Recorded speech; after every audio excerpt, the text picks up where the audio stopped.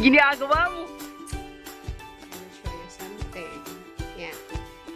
Ganito ang itsura ng bahay nila pag Chinese New Year. Yan. Mga flowers. Yan. Mga. Flowers, yan. Mukhang ano, ano, mukhang flower shop ng aming bahay. May bahay pala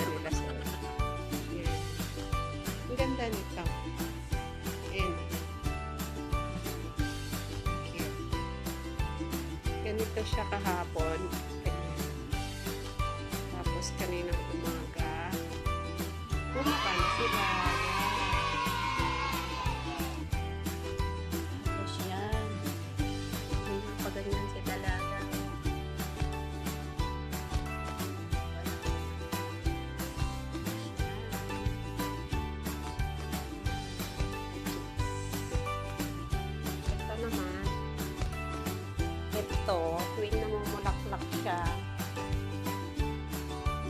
Bango niya, sinisipon ako.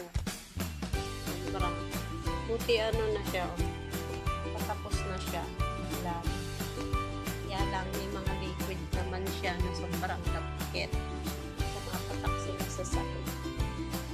So, ayan, may mga paganyan si dalaga. Yan, yung mga paeme niya. Yan.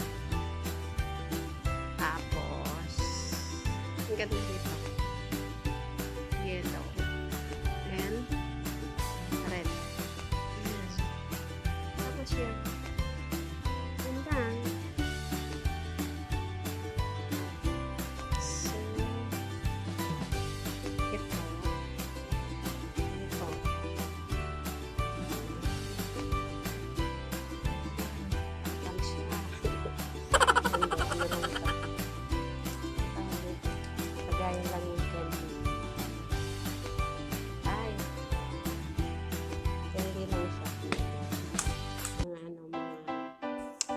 nakabalot siyang candy.